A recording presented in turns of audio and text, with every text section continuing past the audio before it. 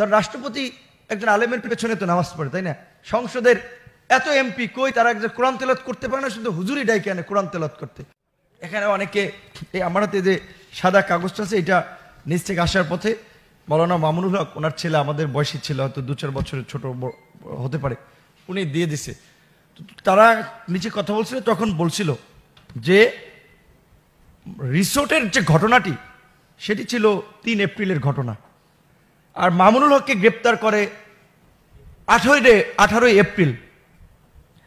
আর মামুনুল হকের যে অভিযোগ, যে পেপার পত্রিকা, গণমাধ্যম যে বিষয়গুলোকে খুব হাইলাইটস করে নিউজ কাটতির জন্য, সেটাতে বলা হয়েছে যে ধর্ষণের অভিযোগের একটা মামলা, তার স্ত্রী কর্তৃক ধর্ষণের অভিযোগের একটা মামলা, খুবই হাস্যকর বিষয়। এবং সেই তার স্ত্রীকে সাতাশ এপ্রিল মামুনুল হকের বাসা থেকে তুলে নিয়ে যায়। কারা তুলে নিয়ে যায়? DB police. তাকে তুলে নিয়ে যায়। তারপরে তাকে দিয়ে ত্রিশে এপ্রিল আপনার সোনারগাঁ থানায় মামলা করে, ধর্ষণের মামলা। আর ওনার স্ত্রী গত চোদ্দ মাস যাবৎ পুলিশের হেফাজতে আছে।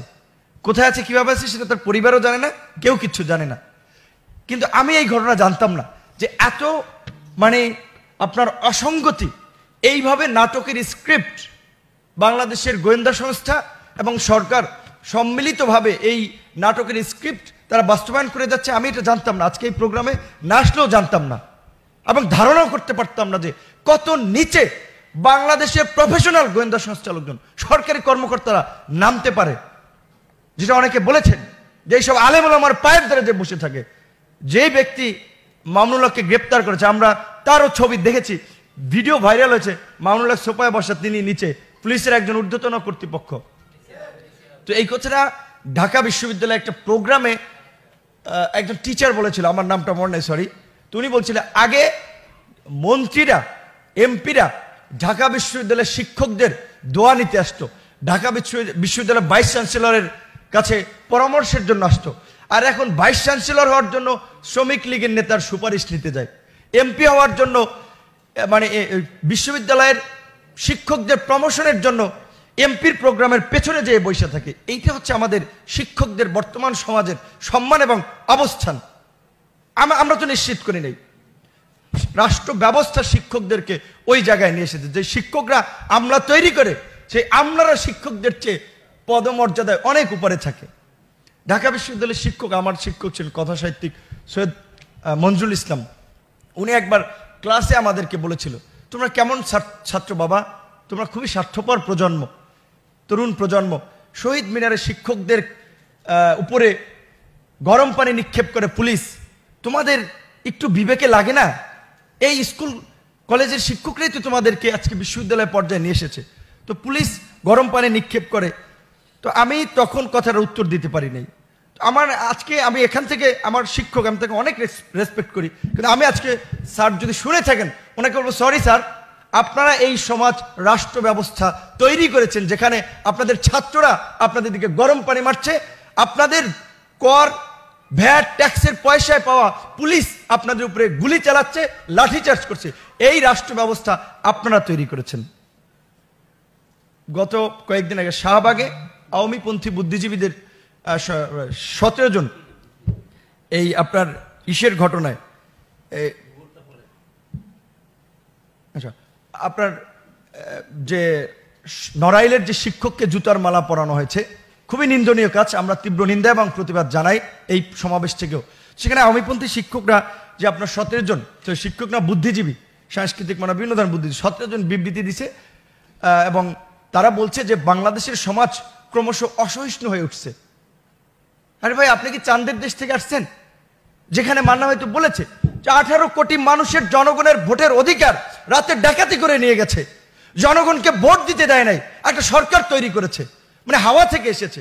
বিনা ভোটে চোদ্দ থেকে আঠারো বছর এই সরকার ক্ষমতা দেখেছে তিন হাজার মানুষকে বিচার বহির্ভূত ভাবে হত্যা করেছে। ছয় শতাধিক মানুষকে গুম করেছে। শাপলা চত্বরে তাদের দাবি দেওয়ার সাথে আমারও দ্বিমত আছে। যেটা মান্না ভাই বলেছে, অবশ্যই তাদের চিন্তা ভাবনার সাথে আমারও পার্থক্য আছে। কিন্তু তাদের উপরে যে পাশবিক নির্যাতন নিপীড়ন করেছে একটা স্বাধীন সার্বভৌম রাষ্ট্রে, তাদেরকে যেভাবে মারা হয়েছে, আপনারা তো সেটা নিয়ে কথা বলেন নাই। মাদ্রাসার ছাত্রদের মানবাধিকার নাই। মাদ্রাসার ছাত্ররা গুলি খাইলে বলা যাবে না, পেপার পত্রিকায় নিউজ আসবে না টেলিভিশন চ্যানেলে নিউজ আসবে না। এই রাষ্ট্র তো আপনারা বানাতে চেয়েছেন, তো সেই রাষ্ট্রই আজকে অসহিষ্ণু হয়ে উঠছে। কাজে এটা আপনাদের কর্মের ফল। সরি আমরাও ভোগ করতেছি, কারণ একটা কথা না, গ্রামে বালা মুসিবত আসলে পীরের গায়ে লাগে কেউ রেহাই পায় না। তো আপনারা এই সমাজকে এই জায়গায় অসহিষ্ণু জায়গায় নিয়ে এসেছেন যে আপনারা সমাজকে বিভক্ত করেছেন নামে বেনামে বিভিন্নভাবে। বামপন্থী নেতা খুব প্রভাবশালী বামপন্থী নেতা বদরুদ্দিন ওমর সাহেবের একটা কিছু আগে আপনার প্রথম আলোতে একটা সাক্ষাৎকার প্রকাশিত হয়েছিল। এখন ধরেন বাংলাদেশের কিছু এনজিও কিছু ব্যক্তি পলিটিক্যাল ফায়দা নেওয়ার জন্য বিভিন্ন বিদেশে ট্যুর দেওয়ার জন্য, বিভিন্ন ফায়দা নেওয়ার জন্য, তারা চায় যে এই দেশে যে সাম্প্রদায়িকতা আছে, এগুলোকে সবসময় জিয়ে রাখতে হবে, তুলে ধরতে হবে সমস্ত জায়গায়।